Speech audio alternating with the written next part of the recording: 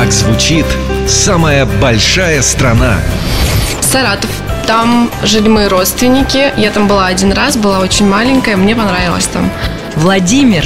Там проходили мои гастроли со спектаклем. И в тот момент я поняла, что гастроли это далеко не романтично.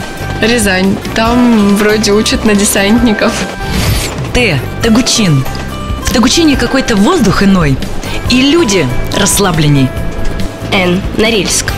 Город самый крупный, северный город в мире. Моя подруга родом оттуда. Точно знаю, что там есть долгий полярный день. Это несколько недель и полярная ночь.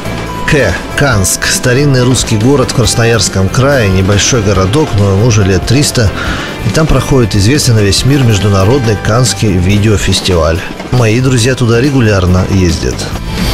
Феодосия, Черное море, старые дома отдыха еще сталинской эпохи. Это тепло, песок, солнце. Я Ялта.